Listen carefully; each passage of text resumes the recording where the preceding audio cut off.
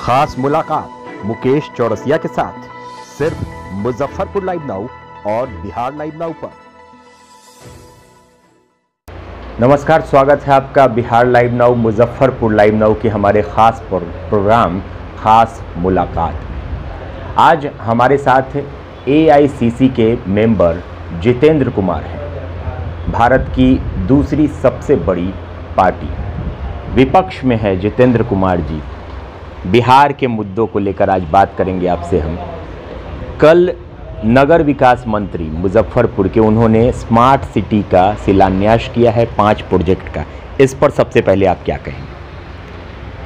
Muzaffarpur smart city की जहाँ तक बात है तो मुजफ्फरपुर स्मार्ट है नहीं।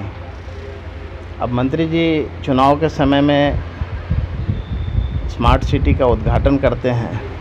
ये थोड़ा हैरान करने वाला है। और मुजफ्फरपुर कितना स्मार्ट है? मुजफ्फरपुर के किसी भी नागरिक से आप पूछिए। वो बताएँगे मुजफ्फरपुर कितना स्मार्ट है। मुजफ्फरपुर के मुद्दों पर अगर चुनाव की बात की जाए, चुनावी साल है 2020 विधानसभा चुनाव होने वाले हैं। यहाँ के मुद्दों पर कब चुनाव होगी? आपकी पार्टी का क्या स्टैंड होगा?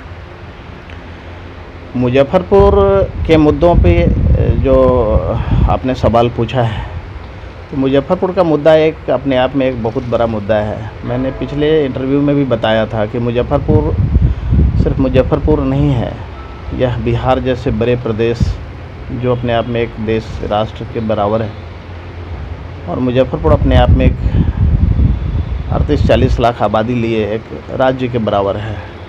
तो उत्तर बिहार की अघोषित राजधानी होने के नाते मुजफ्फरपुर के विकास के बहुत मायने हैं। मुजफ्फरपुर के विकास से पूरे उत्तर बिहार में विकास की एक नई परंपरा का शुरुआत होगा और मुजफ्फरपुर तो वैसे भौगोलिक तौर पे वैसे जगह पे है, जहाँ से उत्तर बिहार जाने वाली अधिकतर गाड़ियाँ गुजरती है। तो मुजफ्फरपुर का विकास के बहुत बड़े मायने हैं। अच्छा मान लीजिए लोकसभा सीट तो आपके खाते में रहती है कांग्रेस के खाते में मुजफ्फरपुर लोकसभा की सीट रहती है। विधानसभा की सीट अगर आपके पार्टी को मिलता है तो आपकी पार्टी क्या क्या करेगी मुजफ्फरपुर ज़िले के लिए? लोकसभा का सीट सामान्यतः कांग्रेस पार्टी के पास ही रहता है लेकिन दुर्भाग्यवश इस बार कांग्रेस पार्टी के साथ नहीं रहा। लेकिन चलिए लोकतंत्र में ये सब चलता रहता है। हार जीत दल बदल गठबंधन सब चलता है। लेकिन कुछ नैतिक मूल्यों के साथ इन सब चीज़ों को अगर किया जाए तो ज़्यादा बेहतर है।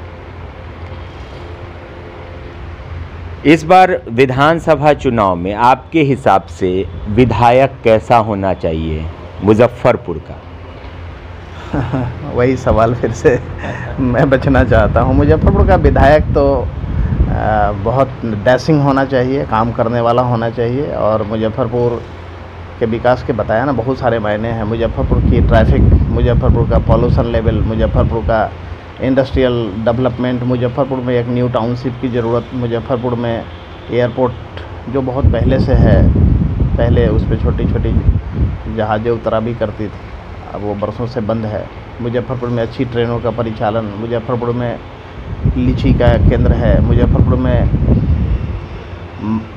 लीची प्रसंस्करण, मुजफ्फरपुर में मक्का की भी बहुत पैदावार होता है।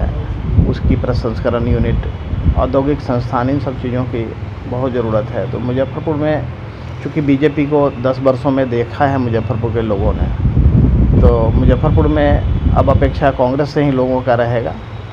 और एक कहावत है if you really want to जज a person then give him power यहाँ के लोगों को, मुजफ्फरपुर के स्थानीय लोगों को, खास करके नए लोगों को एक अवसर मिलना चाहिए। इसके बाद ही पता लगेगा कि वो बोलते हैं या करते हैं। हम लोग काम में विश्वास रखने वाले लोग हैं, बातों में नहीं। जब आपकी सरकार थी, तब इंदिरा गांधी आई थी मुजफ्फरपुर एयरपोर्ट पर। तो कांग्रेस की सरकार में वो हुआ था कि इंदिरा गांधी एयरपोर्ट पर उतरी थी। यहाँ का बहुत लगाव है, यहाँ की जनता एयरपोर्ट चाहती है। तो अगर आपकी सरकार आती है, अगर आपके पार्टी के विधायक मुजफ्फरपुर से बनते हैं तो कैसा प्रयास करेंगे एयरपोर्ट के लिए? निश्चित रूप से मुजफ्फरपुर में एयरपोर्ट की बहुत ज़रूरत है, क्योंकि मुजफ्फरपुर में एयरपोर्ट होने का मतलब सिर्फ़ मुजफ्फरपुर में एयरपोर्ट नहीं होगा। मुजफ्फरपुर में एयरपोर्ट होने से पूरे तिरहुत में, सारण में, इवन दरभंगा कमिश्नरी के ज़िले के लोगों को भी फ़ायदा होगा और इससे हमारी जो राष्ट्रीय रा, प्रदेश की जो राजधानी है पटना उस पर बोझ भी कम होगा। मुजफ्फरपुर एयरपोर्ट की बहुत सख्त ज़रूरत है। पूरे बिहार में अभी पटना के बाद सबसे ज़्यादा ज़रूरत मुजफ्फरपुर में एयरपोर्ट की है। हॉस्पिटल भी यहाँ पर नहीं है। कुछ बड़ा हॉस्पिटल जैसे एम्स की तरह यहाँ भी उसके तर्ज पर कोई हॉस्पिटल होना चाहिए या एम्स होना चाहिए। इसमें क्या कहें हाँ निश्चित रूप से एम्स की स्थापना यहाँ होनी थी, जिसे लगता है कि स्थानीय राजनीतिक, राजनीतिज्ञों की वजह से ये मुद्दा भी, मुझे लगता है कि कहीं दरभंगा ना शिफ्ट हो जाए, जैसे एयरपोर्ट भी शिफ्ट हुआ, लेकिन अभी तक दरभंगा में भी स्टार्ट नहीं हुआ है। तो एम्स ही नहीं, कुछ और भी प्राइवेट सेक्टर के अच्छे हॉस्पिटल्स की ज़रूरत है, और बिहार सरकार को भी अपने हॉस्पिटल्स के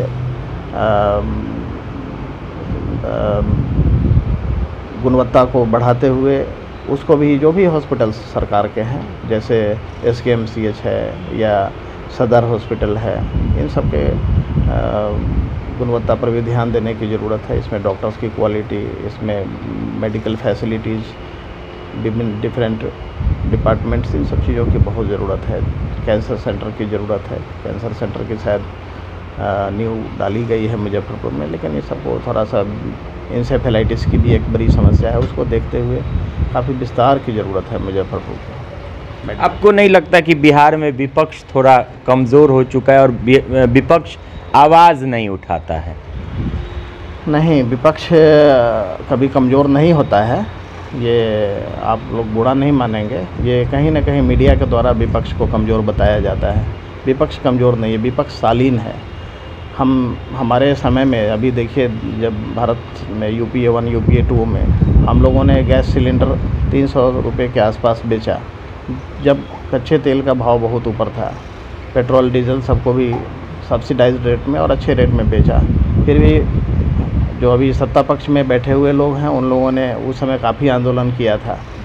और आज वही लोग उसी तीन सौ रुपये के गैस सिलेंडर को आठ सौ रुपये में बेच रहे हैं, जबकि कच्चा तेल सस्ता है।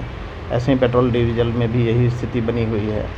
और बहुत सारे मुद्दे हैं मतलब मुद्दों की कमी नहीं है। हम लोग सालीन हैं, हम लोग नहीं चाहते कि बहुत ज़्यादा आंदोलन किया जाए और फिर काम नहीं किया जाए, क्योंकि अभी बिहार में ही देखा जाए, बिजली का भाव कितना ऊपर है? साढ़े सात रुपये यूनिट के आसपास है। क्या ये बहुत ज़्यादा नहीं है? राष्ट्रीय औसत में अभी दिल्ली में और कई राज्यों में दो रुपये, ढाई रुपये बिजली का बिल है। सभी जगहों पे हम कमज़ोर नहीं हैं, हम जनता के संपर्क में डायरेक्ट हैं और हम किसी आंदोलन पे बहुत विश्वास नहीं करते। हम लोगों के बीच जाते हैं और जाएँगे और उनको यथास्थिति बताएँगे कि तुलनात्मक रूप से आप लोग देखिए कि तब क्या था, अब क्या है। इतने कम समय में बहुत सारे चीज़ें हैं, जैसे डॉलर कहाँ गया है, जीडीपी कहाँ गया इन सब कई मुद्दों पर बातचीत होनी है। जाते जाते क्या कहना चाहेंगे मुजफ्फरपुर की जनता को? आप अपने तरफ़ से जितेंद्र कुमार क्या कहेंगे मुजफ्फरपुर की जनता को? चुनावी साल है, चुनाव आने वाला है। उसके मद्देनज़र। मैं मुजफ्फरपुर के जनता को, चूँकि मुजफ्फरपुर बिहार का अघोषित राज, उत्तर बिहार का अघोषित राजधानी है और बिहार ने पूरी दुनिया को ज्ञान विज्ञान दिया है, कभी नालंदा संस्थान से, कभी विक्रमशिला से आज मुजफ्फरपुर भी उत्तर बिहार की राजधानी है, ये भी शिक्षण शिक्षण संस्थान होता था कभी किसी ज़माने में। और आज मुजफ्फरपुर को काफ़ी कुछ दिया जा सकता है। हमारे यहाँ रेन वाटर हार्वेस्टिंग स्ट्रक्चर है, जिससे हमारे यहाँ जल जमाव नहीं होता है। हम अपने घर को भी फुली सैनिटाइज करके रखे हुए मुजफ्फरपुर की एक बड़ी समस्या है मच्छर। जिसका ब्रीडिंग हर तीसरे दिन हो जाता है, उसको भी हमने अपने डिसइनफेक्टेंट सैनिटाइज़र से कंट्रोल किया हुआ है। हमने कई जगहों पे इसका ट्रायल करवाया है। मुजफ्फरपुर की एक बहुत बड़ी समस्या है।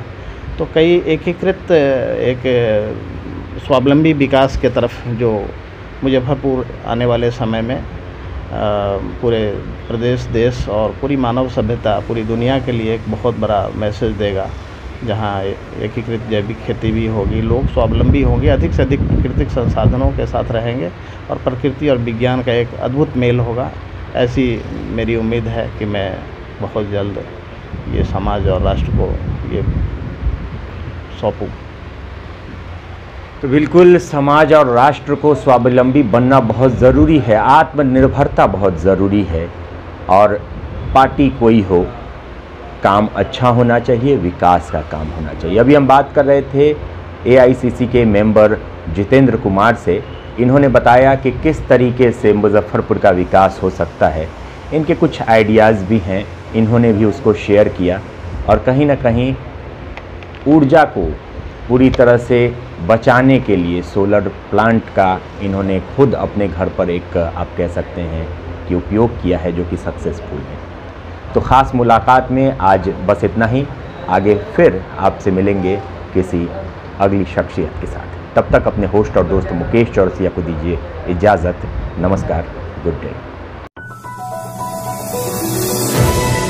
खास मुलाकात मुकेश चौरसिया के साथ। सिर्फ़ मुजफ्फरपुर लाइव नाउ और बिहार लाइव नाउ पर।